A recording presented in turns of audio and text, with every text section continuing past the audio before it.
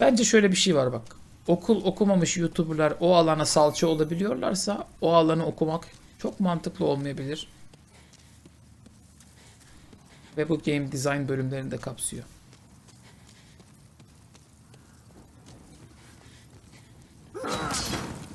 Game design bölümleriyle alakalı çok çok acı bir şey söyleyeyim size. Ben dünyadaki galiba game design bölümlerinin %60'ını falan araştırdım. Game design okumak isteyen arkadaşlar böyle dikkatli dinlesin. Dinliyor musunuz? Ömer Koca hoş geldin. Yeni destekçimiz olmuşsun. Arkadaşlar yeni destekçiler. Evren Yolcuları diye bir Facebook grubumuz var. Oraya katılmayı unutmayın. Bu game design bölümlerinin %95'i falan bir boka yaramaz. Daha ne yazık ki akademideki insanlar bir oyunu iyi yapan şey nedir? Bu konuyu anlayamamış durumdalar. O yüzden benim, benim gördüğüm kadarıyla boş boş e, işlerle gencoların kafasını bulandırıyorlar. Oyun yapmak inanılmaz multidisipliner bir iş. Film yapmak gibi bir şey oyun yapmak. Şimdi yani o yüzden şunu düşünün. Bugün sen gidin herhangi bir tane büyük şirketin e, şeyine bakın. Adamlar kiloyla yazılımcı arıyordur mesela. Hiçbirinde demezler ki game design bölümü mezunu yazılımcı arıyoruz. Çünkü adam yazılımcı arıyorsa yazılımcı arıyordur. Ve game designer mesela sektörde daha az aranan bir meslektir. Çünkü açıkçası game design çok nasıl diyeyim singüler bir iş. Hele de sektörde çok böyle yavaş yavaş öğrenildiği için genelde stüdyonun patronu falan game designer gibi yerlerden başlayıp gelmiş insanlar. Ya bunlar çok ilginç durumlar. Abi LoL neden boş oyun? Bu soruya game design yönünden cevap verebilir misin? LoL game design yönünden boş bir oyun değil. İşte sana cevap. Şimdi Türkiye'deki indie oyun dizayn stüdyolarına falan bakıyorsun. Zaten bir yerlerden yatırım bulan kafasındaki oyunu yapmak için bir stüdyo kurmuş tamam mı? Adam haliyle game designer nedir? Neden istihdam etmesi gerekir? Anlamıyor. El yordamıyla bir şeyler yapmaya çalışıyorlar. Yapsınlar. Yanlış bir şey değil buyursunlar. Ama game design dünyada ne olduğu zaten yeni yeni anlaşılmaya başlanan bir şey. Türkiye'de hiç anlaşılmış bir şey falan değil. Ve game design kurslarına bakıyorum internetteki falan. Kurs derken kurs yani şey e, üniversite müfredatlarına. Salak salak şeyler anlatıyorlar ya. Yok grafik dizayn, yok Unity. Anladın mı? Açın bakalım Unity'leri game design yapıyoruz. Yok ya. Öyle mi oluyormuş o iş? O kadar e, eksik ve yanlış ki game design eğitimleri. Ama işte yani şu an sektörde. Oha be. Aradığım cevap kesinlikle bu değildi. E öyle. League of Legends game design açısından kötü bir oyun değil, boş bir oyun değil. Game design açısından diye sorarak kaybettim. League of Legends neden boş bir oyun diye sorsaydın onun cevabı vardı. Game design açısından boş bir oyun değil. LoL neden boş bir oyun? Ha, şimdi onu konuşalım. LoL açıkçası kuralların sürekli değiştiği bir halı saha hobisinden başka bir şey değil. Yani LoL'ü hobi olarak görmek gerekirken LoL'ü yapan şirket LoL'den para kazandığı için LoL'ü turnuvalar bütünü bir oyuna dönüştürdü. Yani LoL amaçsız bir oyun. Yani LoL şöyle bir oyun değil. Kazandın o maçı 5'e 5. Tamam abi kazandım. Öyle bir oyun değil. Bütün multiplayer oyunlar gibi ve bütün oyuncularını bir rekabet içinde tutarak onların sırtından para kazanan oyunlar gibi League of Legends sana bir kazanma state'i vermiyor aslında. Win state diye bir şey yok. Aa ben bu oyunu kazandım. Ya da ben bu oyunda içimden gelenleri yaptım diye bir şey yok. Zaten LoL ee, boş değil dolu bir oyun olsaydı herkes takım arkadaşlarının kötü olmasından şikayet etmezdi.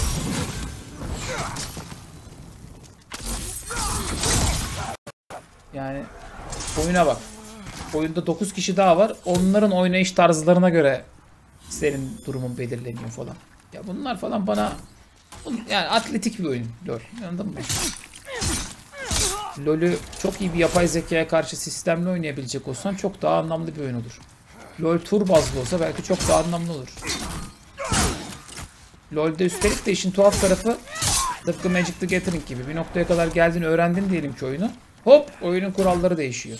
Niye? E, çünkü bir sonraki sezon geliyor ve gencolar skin almak isteyecek. Yani bir- ya bir düzen o yani. Ben LoL'lere falan oyun gibi bile bakamıyorum. Game design olarak kötü mü peki? Değil. Ee, ama game design'ı iyi yürekli bir game design mı? O da değil. Exploitative İngilizce kelimesi bu. Sömürüye dönük. Sömürüye dönük bir game tasa game design'ı var böyle.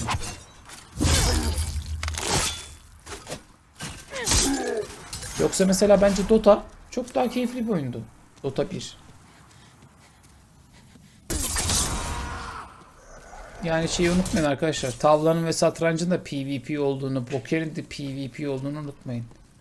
Bugün yani pokerin satrancın, tavlanın geldiği saygıdeğerlik noktasına League of Legends niye asla ulaşamayacak? Bir siz düşünün bakalım.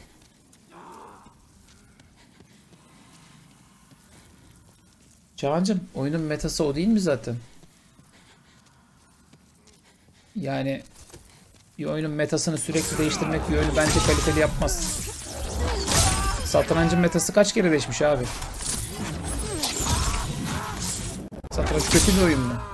Satranç ve LoL arasında sizce hangisi daha iyi bir oyun?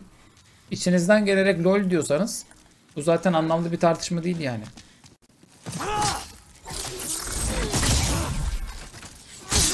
Çünkü demek ki senin zevkin öyle demektir. Anladın mı? Bunun aynısını CSGO veya benzerler için de söyleyebilir miyiz? Yani bana sorarsanız öyle. Bence anlamsız.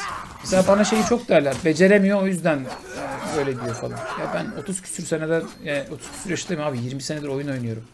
Ben 20 senedir shooter ya da MOBA oynamıyorum ki bu yaşımdan sonra MOBA'ları beğenmeye çalışayım. Ya, anladın mı ya bu şey gibi. Rock, rock müzik seven birisini rap yapamıyor diye eleştirmek gibi ya. Rap yapamıyorsa adam rap'i beğenmediğindendir. Bana öyle geliyor genelde. Takım bazlı oyunların genel problemi değil mi? Kişisel çabadan çok şansın önemli olması. Yo. Hayır şöyle bak bir şey söyleyeyim mi? Ölüm bari metası değişmese yani. Meta metası değişiyor. Falan. Anladın mı? Böyle bir yani League of Legends kötü bir oyun değil. League of Legends'ın içinde olduğu düzen kötü demek lazım belki de. Öyle mi anlatayım? Yani baktığın zaman futbol da kötü bir oyun değil. Ama bugün hani futbol dediğinde böyle bir bir sürü tatsızlıkla beraber alınıyor. Yani bunun sebebi de işte ne bileyim leş bir ortamın oluşması. Birazcık meta gaming'i. Oyunun metası diyelim hadi biz ona. Harbi metası ama.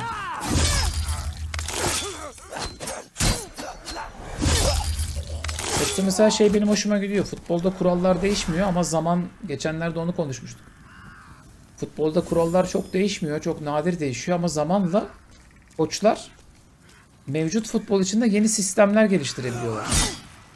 Benim gördüğüm bu derece iki tane taktik vakti zamanında biz düz Dota oynarken ayı Dota e, Dota 1 oyunu tasarlayan adamların hiç aklına gelmeyen jungling ve ne o bir şey daha vardı. Ee, tower hugging, hugging miydi bir şeydi. Böyle bir takım sistemler ortaya çıktı. Ee, mesela bu tarz sistemler ortaya çıktığı zaman acayip heyecanlanıyordum ben. Ama şimdi benim gördüğüm kadarıyla oyuncular oyunun dışında çok bir şey geliştirmiyorlar. Oyun sürekli böyle şeyleri değiştiriyor oyuncular için gibi geliyor. Senede bir çıkıp böyle FIFA şey dese hadi bakalım bu sene top daha ağır. Hadi bakalım bu sene iki top var. Hadi bakalım bu sene görünmez top var ama iki tane oyuncu sadece görünür topların olduğu yeri satın alabiliyor. Hadi bakalım bu sene bir tane sarı top var ama sarı top 5 dakikada bir giriyor oyuna. O 10 10 maç 10 gol değerinde vuruyor. Öte yandan ötekisi bilmem ne vuruyor falan böyle.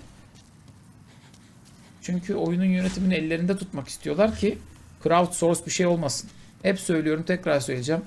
Bu tarz e-spor oyunları gerçekten ciddiye alınmak istiyorlarsa ee, Akademik açıdan.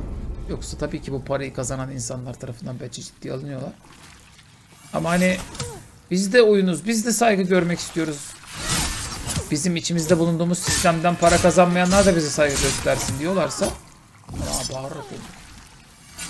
O noktada konu şeye geliyor yani. Ee, açık kaynak kodlu bir şey yapması lazım. Ama adamın derdi zaten iyi bir oyun üretip sektöre yeni bir şey kazandırmak değil. Adamın derdi işte şey ne o?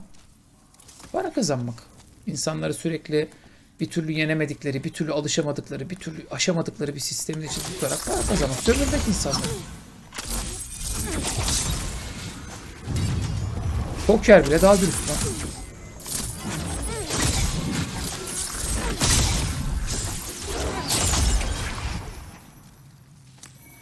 Yani asıl mesele dürüstlük. Tüketiciye karşı olan dürüstlük.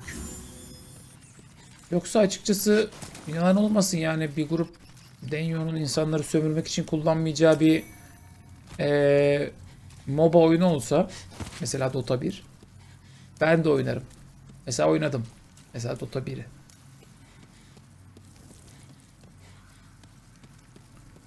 Çünkü yani ya işte aranızda daha çok LoL Dota oynayanlar vardır abi. Tam bir şey alışıyorsun sonra o birkaç ay sonra değişmiyor mu? Ben mi abartıyorum şu anda? Ben mi iğrenç bir haterım ve abartıyorum? Rocket League'i daha temiz buluyorum ben açıkçası ya.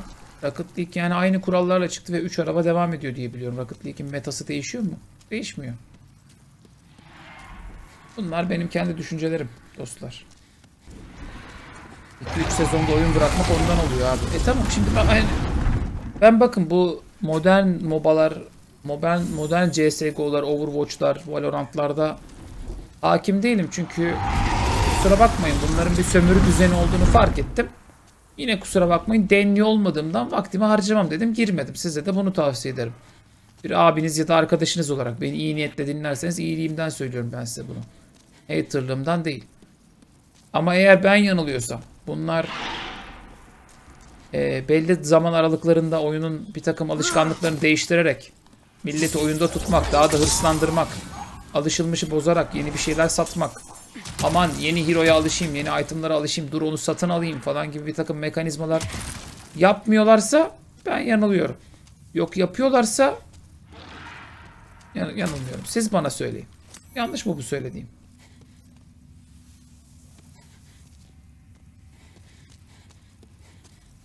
Yani yoksa Haters'ın bunların hakkını yiyorsun mu? Yoksa bunlar çatır çatır sizin kazanma hıncınızı ve sosyal ortamınızı para sömürüsüne mi dönüştürmüşler? Ben oynamıyorum. Siz oynuyorsunuz. Siz söyleyin.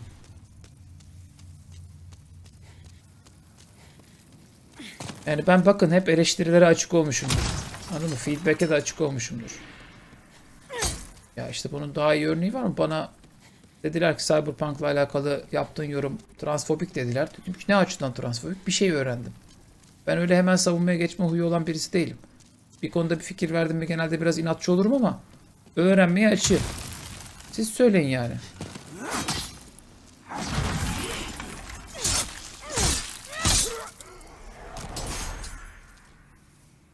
Genshin Impact bütün bunlardan daha dürüst bir oyun yani.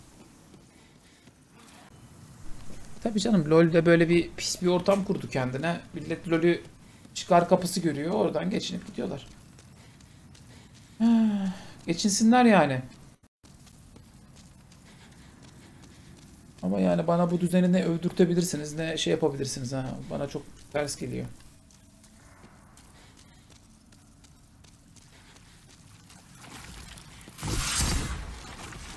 Dediğim gibi ben yanılıyorsam söyleyin. Okuyorum yorumları. WoW'u nasıl buluyorsunuz Can Bey? Profesyonel çekim videoları hariç. Ya yalan olmasın benim için MMO'lar da eee LoL'de hepsi aynı şey. Yani.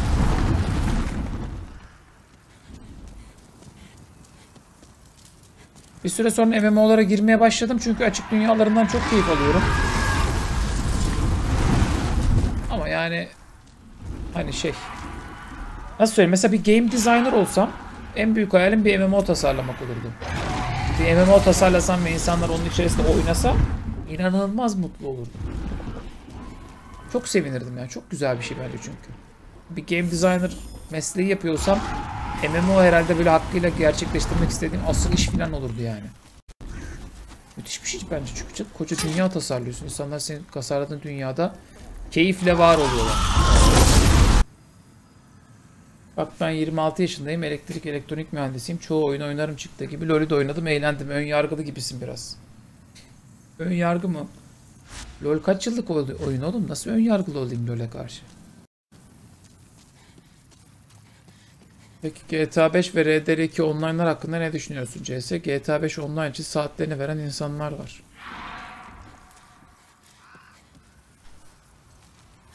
Bilmiyorum ki GTA 5 online para harcamaya zorluyor mu insanları? İnternette şey bir makale okumuştum. Ee, Rockstar'ın kurduğu online sistemler e, Oha be oğlum nereye kadar çarpacaksın sen de bizi. Yürütmüyor bu şerefsiz de bizi. ha. Rockstar'ın kurduğu online sistemler pay to not get bullied gibi bir sistemmiş. Böyle bir şeyden şikayet ediyorlardı. O da şu. Yani Rockstar online oyunlarında para veren taraflar o kadar bariz avantajlı oluyormuş ki sen böyle ya biz para vermeyenler olarak ayrı bir serverda oynayalım falan diyemiyormuşsun.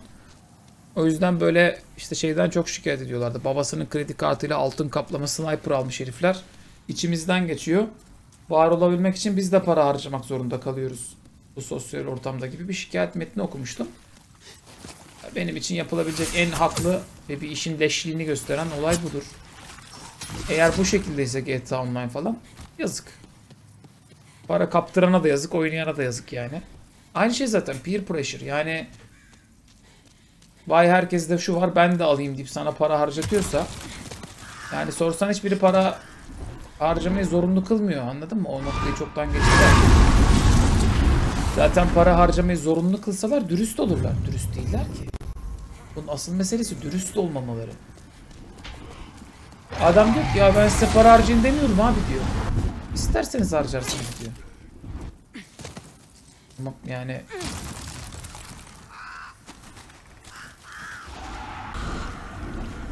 yani Guild Wars 2, WoW, Elder Scrolls Online, Star Wars The Old Republic. Ben bunları hep biraz daha temiz emelleri olarak görüyorum.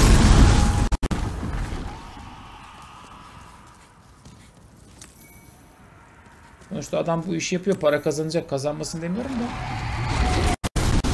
Ee burada borçlanacak gidilecek bir yer yokmuş. Boşu boşuna gittik biz buraya.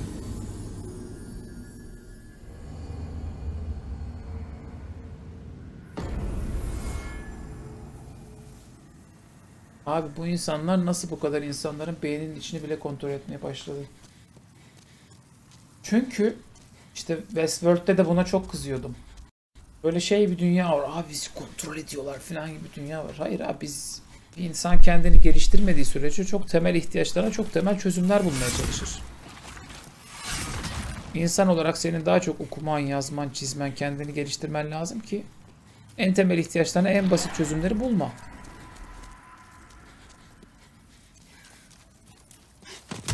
Sonra farkında olmadan kültürel köle oluyorsun çünkü.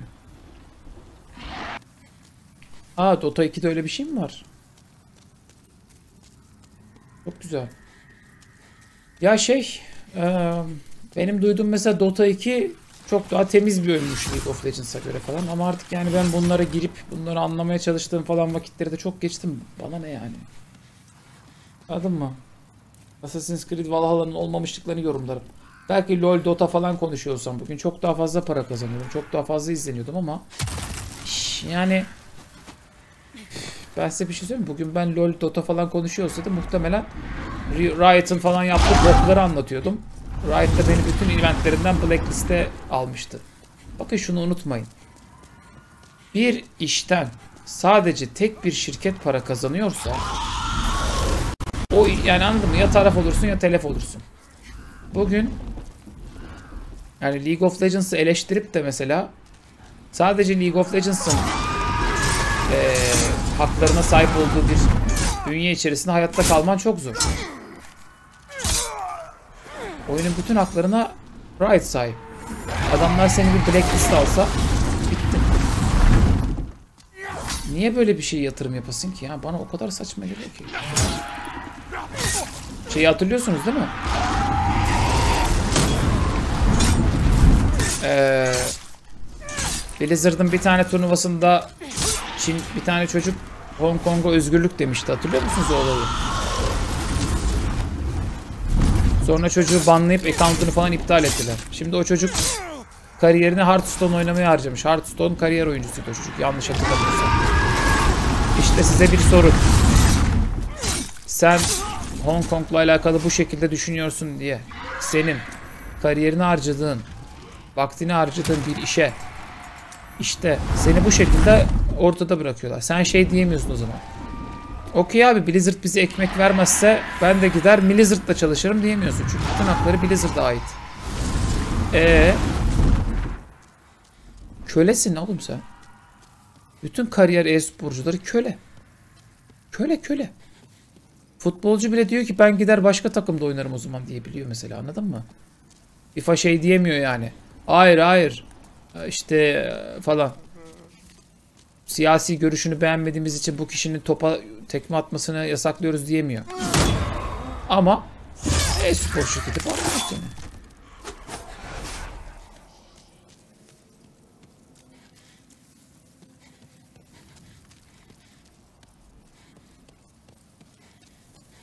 Yazık. E, Yani çok para kazandıklarını zannediyorlar ama köleler ya. Oyun özgürlüktür lan halbuki. Ben öyle büyüdüm ben ne bileyim.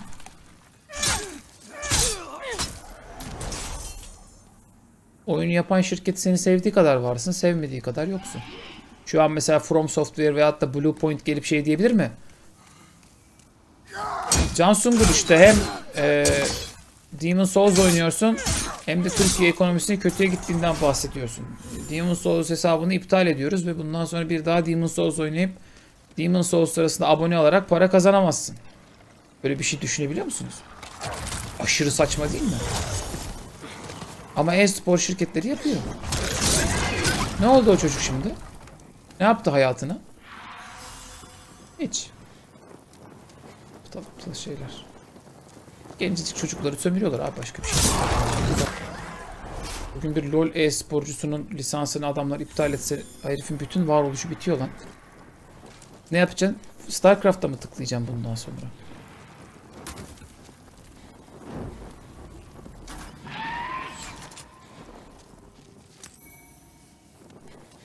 Yoksa tabii ki şey var bu arada. Benim MMO, MMO'ları oynadığım gibi. Ya da Genshin Impact oynadığım gibi. Ekstra bir kuruş para harcamadan o oyunları oynayabiliyorsun. Bu da ama bir savunma metodu arkadaşlar. Yani çok seviyorlar bunu söylemeyi insanlar. Tabii ki de para harcamadan oynayabiliyorsun. Ama insanlar para harcıyor. O da insanların salaklığı abi. Ha öyle mi? Ee, şey, salak insanları biz korumayalım mı o zaman genel olarak? Korumayalım tabii abi. Doğal seçilim. Okey. Yani yani bizim bireysel olarak daha akıllı olmamız bu adamların kötü bir düzen kurduğu gerçeğini değiştirmiyor. Bunu çok görüyorum ben yani. Abi 25 yıldır LoL oynuyorum. Bir kere para harcamadım. Tamam benim sana bir lafım yok zaten. Hadi gel herkes öyle oynasın LoL'ü. Herkes 25 sene LoL oynayıp bir kuruş para harcamasın. Ben buna varım ha. Okey. Ama böyle oynamıyorlar. Niye harcıyor insanlar para? Yani LoL'e para harcamayan insanlar bana LoL'e para harcayanların niye para harcadığını söylesin abi. Var mı bana bunu yazabilecek? Çünkü chatte de gördüm. 75 milyar yıldır League of Legends oynuyorum. Bir kere para harcamadım. Peki harcayan niye harcıyor? Kostümler için. Hayır neye harcıyor demiyorum. Niye harcıyor? Daha iyi gözükmek için değil mi? Kostümler.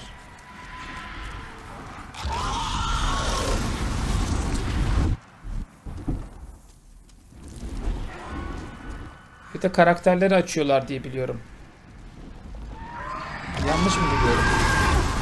RP muhabbetiyle falan. Ben ben vakti zamanda League of Legends ilk çıktığı sene, ilk çıktığı 3. ay silmiş birisi olarak ilk oynadığımda literally League of Legends'ı 1. ayında yükleyip 3. ayında silmiştim. Yanlış hatırlamıyorsam bütün karakterler açık değil. Oynamak istediğin, uzmanlaşmak istediğin, beğendiğin karakteri oynamak istiyorsan karakteri de alman gerekiyor diye biliyorum. Yanlış biliyor da olabilirim. Cahilim. Cahil bir köpeğim bu konuda yani siz bana söyleyin. Mesela şu kadar saattir Demon Souls oynuyorum. Bana hiç şey demedi. CS güzel oynuyorsun ama büyücü oynuyorsun. Baltalı adamla oynamak istersen alırım bir 6.5 TL'ni 15 TL'ni demedi. Niye? Gerizekalı bunlar. Levent Ak yeni destekçimiz olmuş. Hoş geldin. Abi kendi kendine açılıyor zamanda para harcamaya gerek yok. İşte bu da başka bir yalan. Bence asıl zaman harcamaya gerek yok. Biliyor musun? Bu da başka bir oyun sektörünün. Ah siz de inanmışsınız işte be çocuklar. İşte benim bir tek avantajım var. Deminden beri size kaybettik falan diyordum ya birkaç saat önce. Benim bir tek avantajım şu. Bunların hiçbir şeyin, hiçbir versiyonun olmadığı ve bunların aşağılık kabul edildiği zamanlarda dan beri oyun. Yani oyunlara eskiden bir eser muamelesi yapıldığı bir dönemde büyüdüm ben. Oyun bir eserdir. Çıkar. Mesela bir albüm gibi düşünün, bir film gibi düşünün. Oyun çıkar, sen onu tüketirsin. Aldığını alırsın, alamadığını alamazsın. Bir oyunu eser olarak çıkarttıktan sonra üstünden hala bir şeyler tırtıklayarak para kazanmaya çalışmanın şerefsizlik kabul edildiği bir dönemde büyüdüm ben. Şimdi haliyle şey falan bana çok ilginç geliyor. Abi para vermeye gerek yok. Onun yerine 75 saat oynarsan bir karakter açabiliyorsun. 250 saat oynarsan başka bir karakter daha açabiliyorsun. E, 250 saatte Witcher'ı bitiriyorsun iki kere. Olsun abi ama para harcamana gerek yok. Ne harcıyorsun peki? Ömrünü. Bir şey söyleyeyim mi? Anam çok fena yedi. Lolculardan lince uğradık. Ya bana var ya ay o daha kötü yani. Oyunda hiçbir şey para harcamana gerek yok abi. Her şeyi yavaş yavaş açabiliyorsun.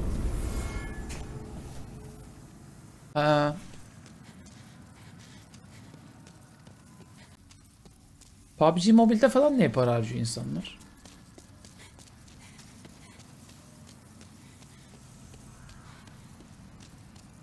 ...500 saat Rainbow'um var hala tüm operatörleri açamadım. Bana gönderdiler tüm operatörleri. Ne anlamadım hiç ben onları biz. Tuhaf bir şey. Baktım bir filmleri milimleri var. ışık çakan bir herif var falan. Bu ne dedim biraz oynadım bıraktım. Mesela şimdi buna sinirlenmiyor musunuz ya? Yani ben mesela şeye çok hayret ediyorum. Herhangi biriniz LoL'de Dota'da falan saatler harcayıp bir şeyler açmaya çalışacağına Rainbow Six'te falan aynı sürede yayın yapsanız zaten yayıncı olduğunuz için bedavaya gönderecekler size onu. O da bana bir tuhaf geliyor. Mesela şimdi anladın mı? Mesela sen şimdi bin saat LoL oynadın mesela değil mi? Bak ben şimdi şu noktada desem ki e sen bin saat LoL oynadın Ahmet'in sikini açtın. Çünkü skin açıyorsun. Sik, e, sik, Ahmet'in sikini açmak için saatlerce uğraştınız siz şimdi. Yalan mı? Ahmet'in sikini açtın sen. Ben de şu saatte gittim dedim ki hocam dedim ya League of Legends'a mail attım. Ben dedim yıllardır tiskinirim ama bu aralar bir merak sardık arkadaşlarla ya biz bir oynayacağız. Bana bütün hero'lar açık bir paket verebilir misiniz ya desem. Aa bana paket gelir. Üstüne bir de RP MP gelir chatlerde dağıtayım diye daha da tişört gönderirler. Bir de event'e çağırıp cebime para korlar. Bu size batmıyor mu ya? Bu, bu götünüzü yapmıyor mu sizin? Ben var ya oyuna 1000 saat vermiş olacağım. Oyunun oyunun oyundaki toplam oyun süresi 10 saat olan herifin biri gelecek. Benim 1000 saatte aldığım her şeyi alacak. Çıldırırım lan. Öyle böyle değil yani. LOL kafe diye bir şey var abi. Gidiyorsun her şey açık. Ah işte. Yani ne kadar ilginç ya. Karakter kapatıp karakterlerin siklerini, skinlerini kapatarak adam LOL kafe diye bir şey açmış. Oraya gidip oradaki bilgisayara para veriyorsun. Çünkü her şey açık diye. Sonra da millet bana diyor ki para harcamana gerek yok. Ya babalar sektör olmuş bu iş. Sektör sektör.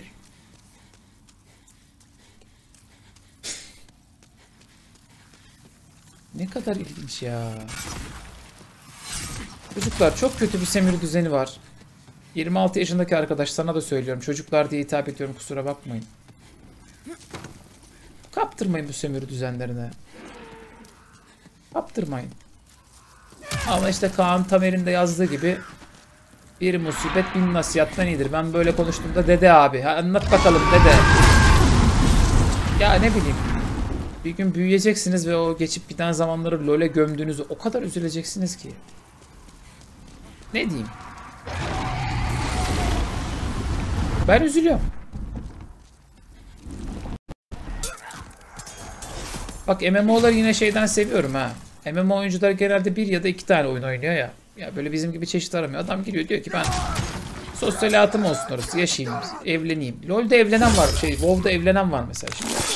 Mesela WoW'da evlenen olduğunu duyunca ben demiştim ki ha okey. Ben bu oyunlara yanlış bakıyorum. Hayatımın kaçıncı senesiydi hatırlamıyorum. Bayağı bir zaman öncesi olması lazım ama. Dedim ki aga millet evleniyor. Hani işte adamın sosyal ortamı burası olmuş. Kimsenin sosyal ortamını aşağılayamazsın. Yani MMO'ların şöyle bir durum var. Adamın sosyal ortamı orası olduysa ve MMO zorla tüketicisinin cebinden para tırtıklamaya çalışmıyorsa Discord gibi sikeceğim ha şuraya bir geçemedim yeter. Kafa dağıtmalık oynayın canım ben bir şey demiyorum. Sadece bu oyunların art niyetli olduğunu izah etmek istiyorum size.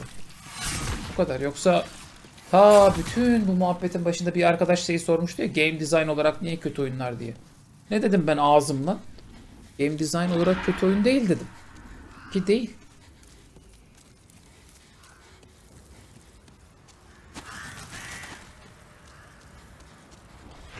Tabii canım bir tane sinirin stresini attım boş oyun olmadı. Ben mesela Black Desert Online, Guild Wars 2, Star Wars The Old Republic girebilseydik. Yani ben mesela kimi MMO'lara giriyorum. Geziyorum abi dünyaları falan çok güzel. Açık dünya, koca dünya gez. Bitmeyen oyunlar. Minecraft aynı şekilde.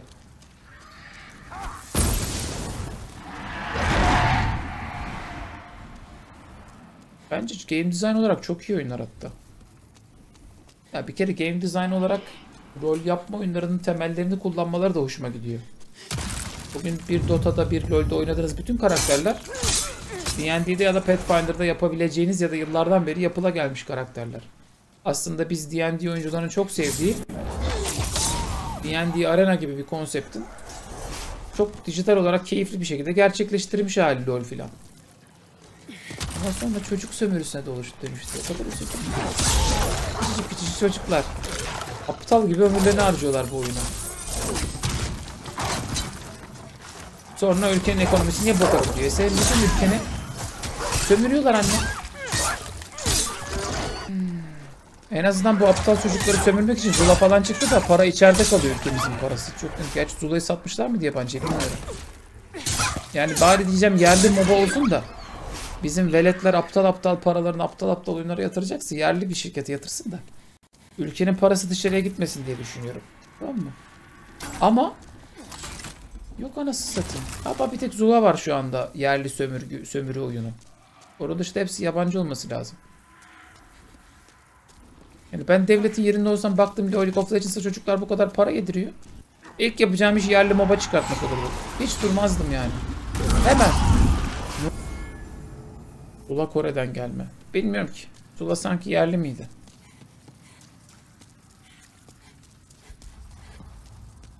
Abi biz sembolünde bozkurt olan petrol ofisini sattık. Onu mu satmayacağız?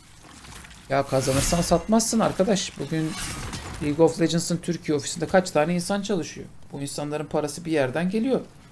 Bugün PlayStation Türkiye'de bir sürü insan çalışıyor. Bunların parası bir yerden geliyor. Türkiye'deki insanların oyuna verecek parası var. Ya demek istediğim böyle bebelerin cebindeki 3 kuruşları falan alıp götürüyor bir de herifler şirket bunlar ya.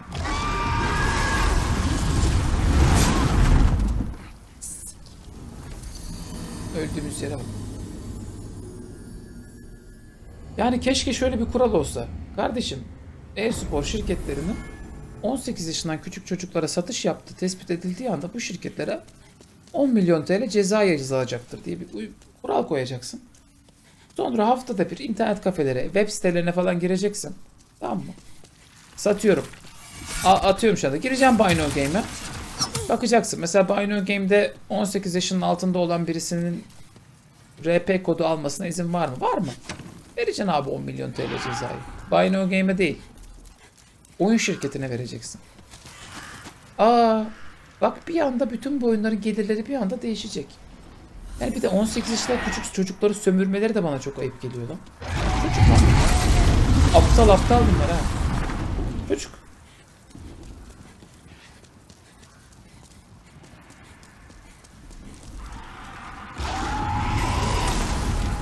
Neyse Dede Talks with Can Sungur saati yine boş verin siz beni. DualSense'in titreşiminden bahsedelim gene. Arkadaşlar DualSense çok iyi titreşiyor. 8300 TL'yi veriyorsun. Önce götün titriyor sonra kumandan titriyor. Hadi bakalım kendinize iyi bakın iyi günler. Bugün de sizlere donanım incelemesi yaptım. Ee, ben, ben niye bu ruh haline girdim şu an? Kötü kötü bir insan oldum böyle. Pozitif pozitif sizlere şakalar komiklikler yapıp sizleri eğleyeceğim yere. Hakikaten okey boomer yani.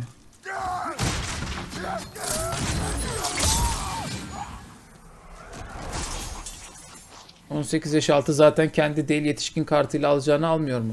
Denetleyeceksin yavrum. Polis gidecek bakacak. Sigara yasağı gibi düşün. Sigaraya da sigara yasak diyorsun. Sonra ne yapıyorsun? Sigara yasak demekle bitmiyor. Kontrol ettiriyorsun.